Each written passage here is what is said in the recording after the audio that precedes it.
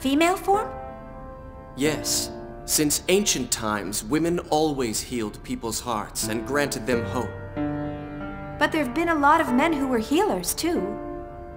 Historical records have always been compiled from a male point of view. And besides, men are creatures capable of nothing but destruction and conquest.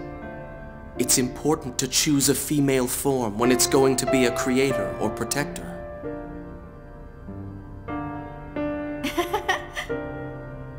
Did I say something strange?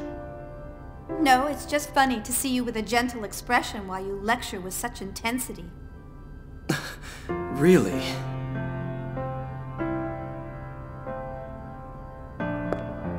Why did you decide to make KOS-MOS, Kevin? Is it to protect humanity? Well, it's true that Gnosis are a grave threat to mankind's existence. So wanting to protect people from that threat is part of it.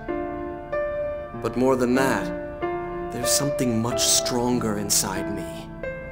Stronger? Everything exists for a reason. If the Gnosis represents a truth we haven't known before, then I want to know what that is. The truth about Gnosis. I think that may actually be the shortcut to saving this universe. I know you can do it, Kevin. You'll build KOS-MOS, and you'll find that meaning.